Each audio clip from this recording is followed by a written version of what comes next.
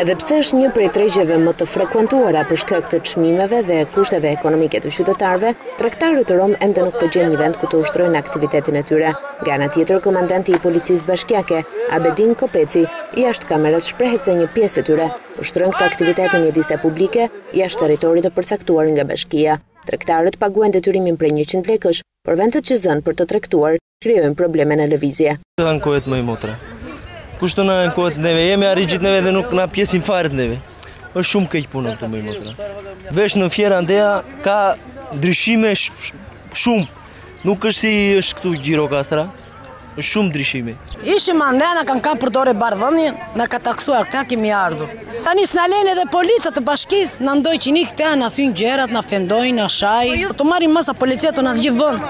Erdhën sot, na përzunë që këtu, ku të vem, ku të katrarosim, s'ka punë të vem të punojmë tërë të vimë te shpitë, rahat, vimë këtu shesim, na përzë njëri andej, njëri andej, Duke u shtuar përditë e më shumë, tregtarët romë kanë zaptuar tashmë të gjithë rrugën hyrëse për në lagjen Granit, duke vështirësuar ndjeshëm qarkullimin e makinave për shkak të fluksit të lartë të konsumatorëve që frekuentojnë këtë treg. Kriza ekonomike dhe mungesa e mjeteve financiare po detyron qytetarët gjirokastritë të gjejnë tregje të lira si në veshje ashtu edhe në konsum.